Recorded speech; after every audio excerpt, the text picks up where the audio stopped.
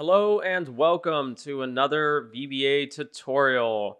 So in today's video, we are going to cover how to control the VB editor, so the Visual Basic editor, using VBA. So a lot of people are usually surprised when I tell them this, but you can actually control the Visual Basic editor using VBA. And sometimes this does have advantages. Uh, you know, for example, maybe we wanted to programmatically add some code to our project. We could do that using this particular method. If we wanted to programmatically add references to object libraries uh, using VBA, we would we could do this. So this is going to be a multi-part series, and in this particular video, we're going to kind of keep it more simple. We'll just kind of introduce the hierarchy that uh, is the VB editor. And then we're going to just do some basic examples. So uh, in this particular one, we're just going to write a single line of code to a new project. So with that being said, we're going to jump to our Visual Basic. We're going to go to our Developer tab. Into Visual Basics. and then from here, you would want to make sure that you insert a new module. And then also, you do actually have to enable an object library in order to do this. So if you go over here to Tools, down to References, you're going to see one right up here at the top that uh, you know I've used before. So it's called Microsoft Visual Basic for Applications Extensibility 5.3. This is the object library that will allow us to go out and actually control the Visual Basic editor, well, at least doing early binding. So if you go down to M for Microsoft and then Visual Basic, it'll be somewhere right around here. You just want to make sure that you uh, check that box. It will enable it and you're good to go. Okay, so with that being said, we can create a new subroutine. We'll just call it uh, working with the VBA editor. it's probably a little long, but whatever. And then the first thing that we're going to do is we're going to declare our variables. Uh, the first one is going to be the actual VB, ed VB editor itself. So we'll call this one VB a editor.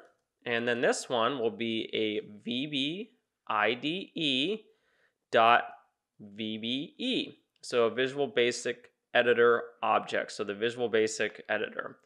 And then from here, kind of how the hierarchy is going to go is with inside of your Visual Basic editor, there are projects. So that's kind of the next level down.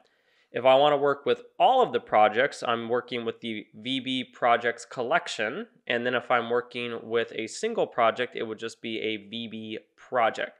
Now we're going to work with both. So I'm going to declare both variables. The first one will be VB, and then we'll call it, you know, projects just for short. And then from here, this would be, again, a VB IDE, and then Visual Basic projects. So this would be the projects collection. So all the projects currently in your Visual Basic editor. And then if we go one level lower, and we just remove that S, we are now working with a single project. So here I'm creating an object variable that will house a single project. And then inside of our projects, we have something called components. Your components can be worksheets, it could be user forms, class modules, all that kind of fun stuff. What we would want to do is we'd want to naturally go into one of those modules and then work with it. But before we could do that, we have to actually get a component. So the next level is going to be called VBCom. And this will be short for VB IDE and then Visual Basic Component. And as you could tell right there, there is a component object and then a components collection. So all of the components of our projects is the collection and then a single component is like, for example, a module. And then from here, uh, if I want, I can work with a single code module. And so we'll create our final variable called code mod. And then this will be a VB IDE and then it will be a code module. So this will be a single module that houses some code. Okay, so now that we've done that, let's create a reference to the editor itself, and then we'll do something simple. We'll simply just, uh, you know, print the version of our particular Visual Basic editor. So what we're gonna do is we're gonna create a reference to the VBA editor, And so we're going to set the VBA editor object equal. We're going to go into our application object. And then there is a property called VBE that will return that object for us. And now that we have it, we can print it. And so what we're going to do is we're going to call the debug print line. And then we're going to say VBA editor. And then I just want something simple. Give me my version. And so if I run this, bam, 7.01, that is the version of our Visual Basic Editor. okay, now with this, what we can do is we can now loop through all of the projects that belong to our particular, uh, what is it, our particular Visual Basic Editor. now, if I wanted to, I could create a reference uh, to the actual collection itself. And then what I can do is I can go in the VBA editor and then I would go to the Visual Basic Projects collection. So this is basically create a reference to the VB projects collection. Very important. And then if I wanted to, I can loop through each individual project that belongs to that collection. So really what we're going to do here is loop through each project in my projects collection. And so we'll say for each VB project in VB projects, so the entire collection. I'm going to go to the next one, and then we'll just print some basic information. So we'll say debug dot print, and then it would be VB project, and then it would be, say I want the file name, right? So I'll get the file name. Uh, that's got to be capital. I'll copy this line, put it down below, and then I'll just take the name of the individual project. And so with this one, that's all we're going to be doing is we would just loop through each project in it. And so when I run this, you can obviously tell the first one here is the uh, project name, or sorry, file name, the project name, uh, file name, project name, and so on. So, you know, as you can kind of tell, uh, we all have same, the same project name, so and it kind of makes sense if you look right up over here. Uh, so it's kind of hard to kind of distinguish these ones, but if we wanted to, we could use the file name as kind of a distinguishing mechanism for our particular project. But, um, you know, I'll do one more just for, you know, just to kind of see. And then we can say, uh, I don't know if it's going to return. I think for this one, it just returns uh, an enumeration. Uh, now, all of these ones should just be, uh, let me run it again. So it's 100. So I'm assuming that's just a normal Visual Basic project, but you could basically return the type of your Visual Basic project that you're working with um, if you wanted to. Um, it's kind of surprising because this one technically is like a different extension, but it's still giving me the same type. I would have thought personally um, maybe they would have considered add-ins a little bit different than your personal Excel workbook or, or something along that nature. But you know, again, it's kind of a learning experience. At the end of the day, I'm sure eventually somebody will kind of come across and say, "Hey, this is actually, you know, has something useful associated with it." Okay, so that's looping through all of the projects. If we wanted to, now we we would probably want to go to the next level, which is a component uh, one of the components being, you know, right over here, for example. So what I'm going to do is I'm actually going to comment this out because I, I, really don't want it to run again. And then uh, same with this one. I just don't want it to print out again. And then if I wanted to, I could reference a single project. So I'll reference a single project. And so we're going to say set VB project equal Got to make sure that capital P is there. I keep missing it. I'm going to go in to the VB projects collection. There is a method called item. And the item one basically just says, hey, either pass through a key or a name, or sorry, not a key, a key or index. And then uh, really the index is just determined by the order in which they appear over here. So if I want the one that's called VBE book, uh, that would be the third one and then this will create that single reference to that particular um, component.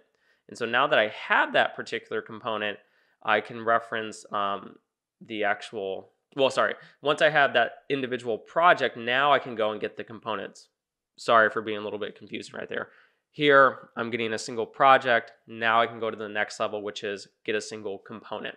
So here we're going to say reference a single component of that project.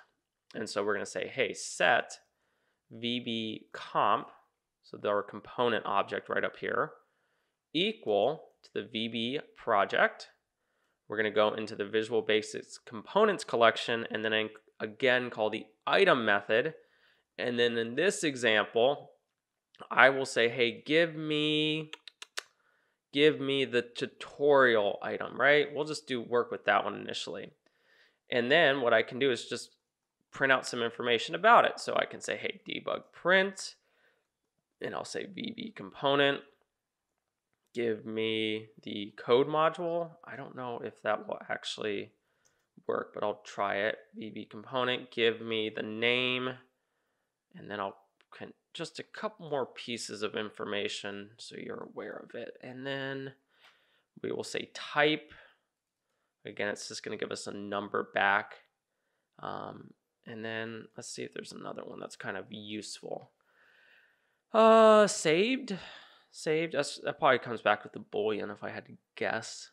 Okay, yeah, I think that's enough. Let's see what this kind of returns back to us.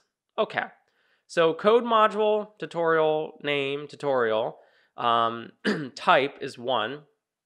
I'm assuming that's probably going to mean code module or probably uh, one because you can have code modules, user forms, class modules, and then the actual objects themselves. So this one I would imagine is just simply saying it's a code module. And then this one is returning a boolean saying, hey, yes, it has been saved. So if it hadn't been saved, um, it would have came back false if I had to guess. Okay, so now that we've done that, let's actually go into the code itself. So I'm going to comment this out. I'm going to go to the next line. And so we'll set a reference to the code module. So this is the actual code that lives in that particular um, item. And so for example, I can go in there, I can call the code module property. So now I have the code. And then let's just do something, you know, very simple, but we can say, hey, how many, uh, uh, how many lines of code are there? Right? So if we wanted to, we can see how many uh, lines of code. Some of these give me some interesting answers, to say the least. So for example, uh, what is it? Count of declaration lines. Now, the way I would read this, so if I go back here, I would consider this a declaration. You're declaring a variable. But if I remember correctly, this one doesn't actually print that much. I think it just says one. Yeah, there, see? It comes back zero. So I'm going to do a little bit more research on this particular one. That to me is just surprising because, I mean, I would consider that a declaration. Uh, so I'm just surprised that it's saying there's zero because I've kind of seen a couple right off the get go.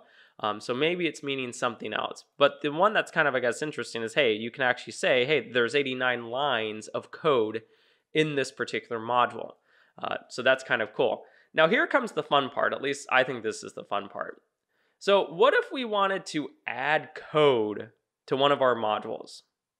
Well, we can actually do that from the VBA editor itself. Now, in this example, I'm going to add code to a different module. So I'm, I'm going to say, hey, add it to module one. So this one right here. So as you can tell, right now there is no code. If I go down, nothing, right? Well, let's add some code. So we'll say add a new line of code. And so we're going to okay, go in the code module, go into the insert lines method. You have to specify a line. That's a long. And so I'm going to say, hey, here, just put it at line one. And then the string of code that you want to insert. And I'll say, hey, insert hi there from VBA. Nothing happens, but I ran it. There you go. So we now have inserted code programmatically using VBA.